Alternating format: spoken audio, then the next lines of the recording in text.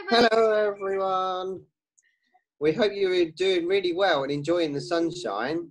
Did you know there's a special occasion coming up in our calendar? Yeah, my birthday. No, not quite, Liam. Um, that's actually a little while away yet. I'm talking about Pentecost. Who is Pentecost and when is his birthday? No, Pentecost isn't a person, Liam. Um, it's the day that the Holy Spirit came, just like Jesus had promised.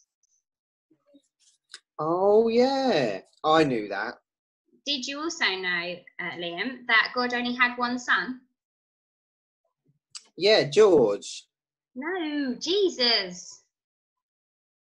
Oh, I knew that too. He was sent by God to save the world, right? Yes, and save the world he did. But he had to die to save us.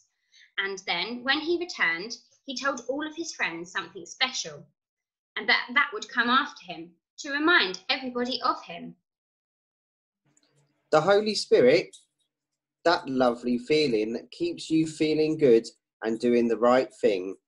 That's right, Liam, yeah. So we pray for different things on the days leading up to Pentecost. So we are coming back every day to say prayers with you. That's it. And today our prayer is about Jesus. Let us pray. Loving God, thank you that you gave your Son Jesus for me and for all our people. Remind me often that you sent your Son to save us all. I pray for all of, of my friends that they will be reminded of Jesus often as well. And I pray that you stay in our hearts and on our minds, Jesus, and that you teach and guide me not to be not only to be the best person ever, but the best person that I can be. Amen. Amen. Now you should have a little moment to think about Jesus and maybe write something down or draw a picture to remind you to say thank you to God and to Jesus every day. Sure, Liam.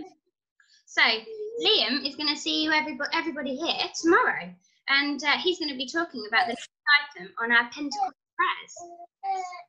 Stay safe, everyone. See you soon. Bye, everyone. Bye.